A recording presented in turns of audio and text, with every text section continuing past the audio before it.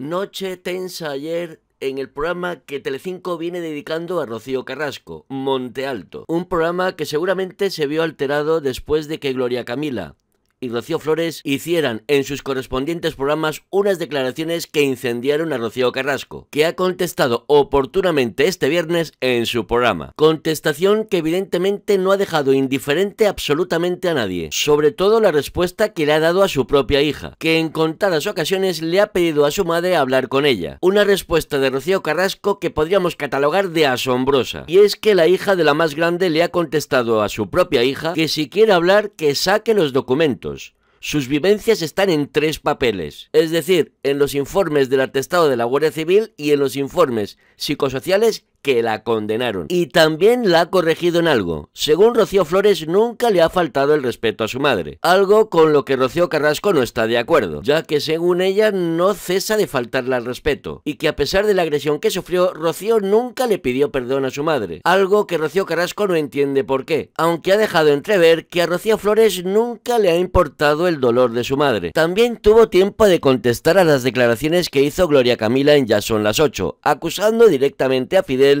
de ser quien maneja toda la situación en la casa de Rocío Carrasco. Una Rocío Carrasco que ha dejado claro que su hermana está siendo manipulada por terceras personas y que si son valientes den la cara por ella y que le digan a la cara lo que le tienen que decir sin utilizar a otra niña más. Pero el momento más álgido de la noche se produjo cuando José Antonio, el tío de Rocío Carrasco entró por teléfono en el programa, para dejar claro que no se cree nada de lo que dice su sobrina Rocío, en relación al problema que Rocío Flores tuvo con su madre en la cocina ya que según él sabe las dos versiones y no es así, y no es como lo cuenta Rocío Carrasco. Y entre medio de la trifulca entre Rocío Carrasco y su tío entró también Jorge Javier Vázquez, al que llamó a la familia de Rocío Carrasco desalmados, explicándole a José Antonio, el tío de Rocío Carrasco, que lo que estaba haciendo ayer noche era faltarle al respeto a su sobrina. Y digo yo, ¿Rocío Carrasco no tendrá nunca parte de culpa en esto? ¿No tendrá un momento de hacer autocrítica? Sería bueno por su parte.